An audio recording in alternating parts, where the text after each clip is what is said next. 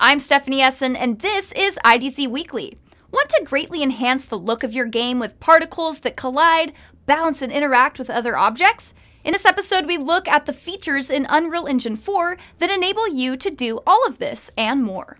By understanding lit particles, scaling for different hardware, and by using the provided performance patches, you can make some awesome improvements to your game.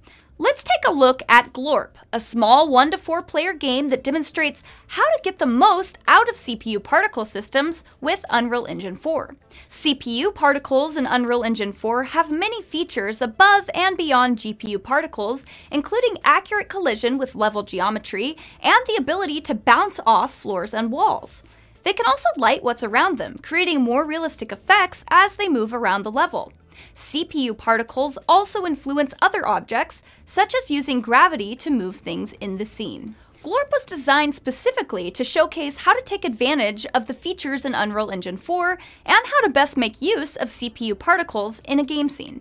The game, along with the help of this guide, will help you get a grasp of it all. Within Glorp, there are three scenes to help you. The first, Glorp Main, features a small game that utilizes CPU particle systems to show off all the optimizations covered in the guide. The other two maps, Glorp Dynamic Test and Glorp Stress Test Lit, are for testing the optimizations and pushing the system as far as it'll go. The guide covers the DirectX 11 API submission thread, PhysX library optimization, the asynchronous particle tick, parallel particle collision, as well as outlining the performance improvements. Get the latest release of Glorp on GitHub, and the Unreal Engine 4 source code can be found in the links. And I'll see you all next Monday.